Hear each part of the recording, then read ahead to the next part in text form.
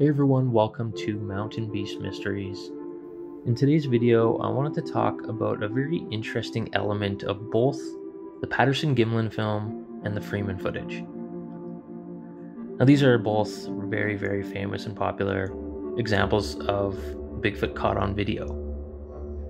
And, um, you know, when you really dive deep into both of these stories, you can see that there's, it's, it's really hard to debunk both of them and what I wanted to touch on was the fact that in both cases of, you know, these pieces of footage, um, Paul Freeman and Roger Patterson were both extremely willing to have academics and pretty much anyone like trying to debunk the footage analyze you know the evidence gathered from those sites so, yes, there were videos shot of the Sasquatch creatures, but in both cases, there were also a significant amount of footprints that were cast.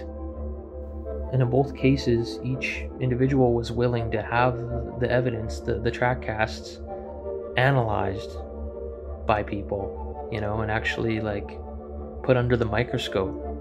So if you were hoaxing Bigfoot footage, you wouldn't probably go that far as to not only make the Bigfoot tracks, but cast them and have them closely examined because that's where your hoax is going to fall apart for sure.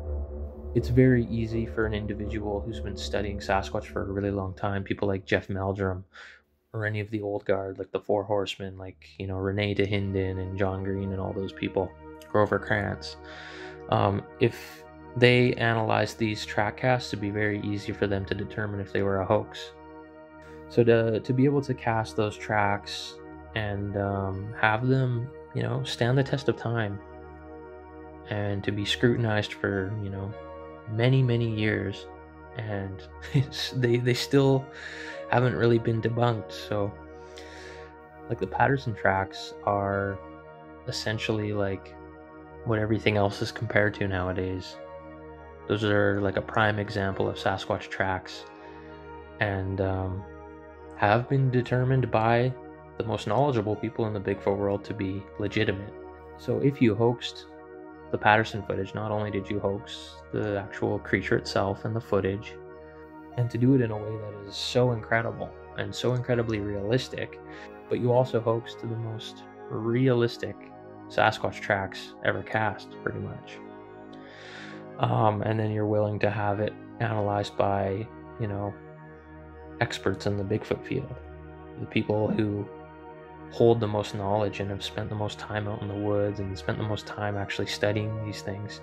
You're letting them analyze the track casts, looking at the dermal ridges and all the the features that are unique to each trackway. Like it's the same thing with like the Paul Freeman footage, as I said. Like he had cast a lot of tracks, and you can actually see the tracks at the beginning of his video of the Freeman footage. You can see them in the ground, and and they had been looked at by you know Jeff Meldrum, and there's stuff going on in those tracks that even Paul Freeman didn't know about.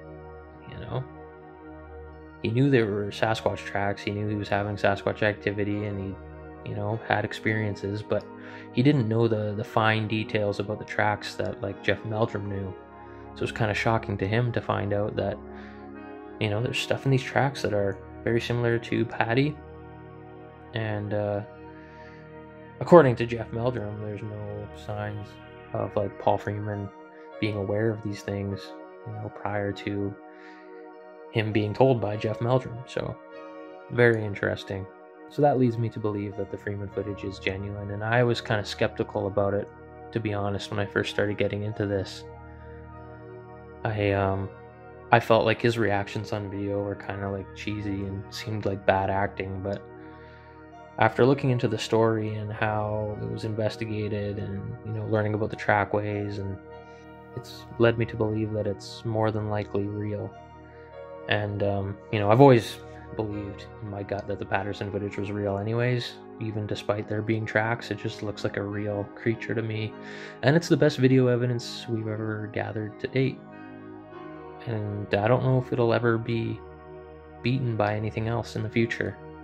So that is all I wanted to really talk about in this video is that having trace evidence gathered on site of where the footage was filmed after the creatures walked through and being willing to have it analyzed really reinforces your your footage you know if you're willing to to go out there and to, to hand the stuff over to you know the scientific community and academics it really says something you know about your honesty and that you you don't want to hide anything you know? So there's a lot of a lot most of the examples of bigfoot footage out there don't have any other evidence to back it up. When if it was a real creature the, there would certainly be something that you could gather on site so i don't know i want to know what you guys think you guys think the freeman footage is real i mean when you look at it it it looks very similar to Patty. So, unfortunately, the quality of that video is extremely low just due to the format that it was shot on. But it's better than nothing. And like I said, there was all the other evidence gathered to back it up that has been scrutinized closely throughout the years. So, that's all I wanted to talk about in today's video. If you want to support Mountain Beast Mysteries, you can do so through the GoFundMe link in the description below every donation helps to create this content and bring it to you guys free on YouTube. So, thanks for watching this video. See you next time on Mountain Beast Mysteries.